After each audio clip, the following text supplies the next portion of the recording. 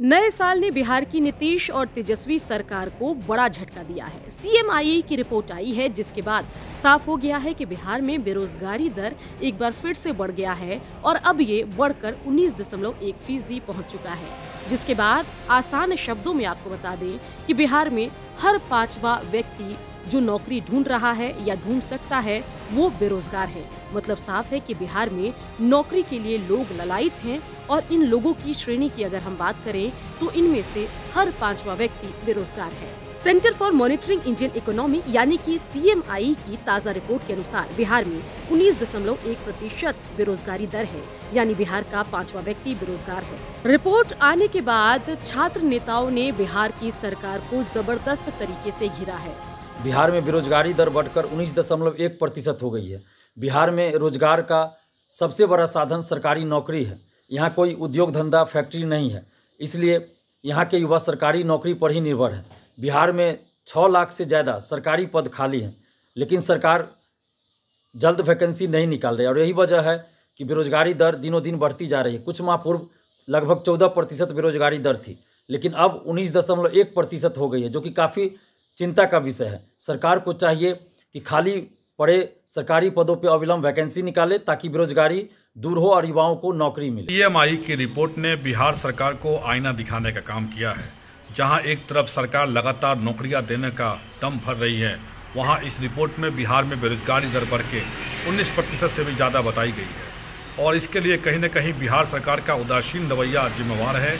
क्योंकि तमाम seated बीटेड state अभ्यर्थी लगातार अपनी नियुक्तियों को लेकर मांग कर रहे हैं लेकिन सरकार के उदासीन रवैये से बिहार में बेरोजगारी दर बढ़ के उन्नीस प्रतिशत से भी ज़्यादा हो गई। रिपोर्ट को देखने के बाद जेडीयू बीजेपी ने भी एक दूसरे पर वार पलटवार शुरू कर दिया है। आदरणीय नीतीश कुमार जी के नेतृत्व में चल रही बिहार की सरकार की प्राथमिकता है बिहार में रोज़गार के अवसर कैसे और पैदा हो इस दिशा में काम करना। लगातार सकारात्मक परिणाम दिख रहे हैं नियुक्ति पत्र बांटे जा रहे हैं नीतीश कुमार जी ने साफ़ तौर पर कहा है कि बिहार में 20 लाख रोज़गार के अवसर सृजित किए जाएँगे। इस दिशा में काम भी हो रहा है, लेकिन विभिन्न आंकड़ों के माध्यम से बिहार की छवि को धूमिल करने का एक कुचित प्रयास होता रहता है।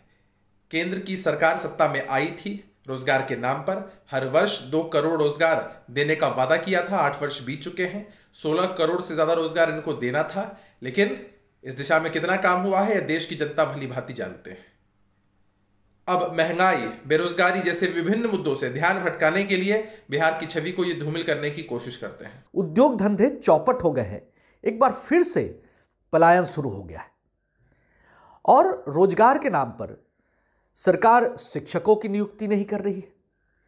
पुलिस में नियुक्ति नहीं कर रही है। बीपीएससी बीएसएससी के की परीक्षाएँ होती है। आप देखें कि क्वेश्चन पेपर लीक होता है। अपॉइंटमेंट घोटाला है।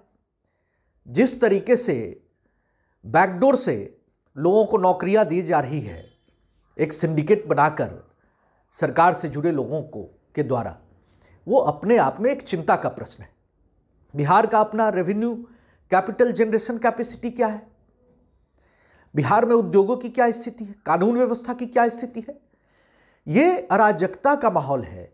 ऐसे में रोज़गार के अवसर तो सामने आएँगे नहीं सीएमआई की रिपोर्ट के मुताबिक सबसे अधिक बेरोजगारी हरियाणा में है, जहाँ सैंतीस दशमलव एक फ़ीसदी बेरोजगारी है। वहीं राजस्थान में अट्ठाईस दशमलव पाँच फ़ीसदी बेरोजगारी है। तीसरे नंबर पर दिल्ली है, जहाँ बीस दशमलव आठ प्रतिशत बेरोजगारी दर है। वहीं बिहार की अगर हम बात करें तो यहाँ उन्नीस दशमलव एक फ़ीसदी बेरोजगारी है। झारखंड में बेरोजगारी का दर 18 फ़ीसदी के आसपास है। बिहार में बेरोजगारी दर की अगर हम बात करें तो अक्टूबर में ये आंकड़ा चौदह दशमलव पाँच फ़ीसदी था। वहीं नवंबर की अगर हम बात करें तो 17 फ़ीसदी के आसपास ये आंकड़ा था और दिसंबर में ये बढ़कर उन्नीस दशमलव एक फ़ीसदी आ गया है। मतलब साफ़ है कि बिहार में नौकरी को लेकर हालात जो हैं वो चिंताजनक बने हुए हैं। परेशानी महीने दर महीने बढ़ती जा रही है। ऐसे में नौकरी को लेकर सियासत और चुनाव प्रचार तो खूब हुआ, लेकिन देखना होगा कि बिहार में नौकरी को लेकर स्थिति कब बदलती है, कब सातवें चरण की बहाली होती है, कब पेपर लीक होना बंद होता है, कब बेरोजगार युवाओं को बिहार में रहकर ही रोज़गार मिलता है। बिहार की खबरों के लिए आप देखते रहिए बिहार तक।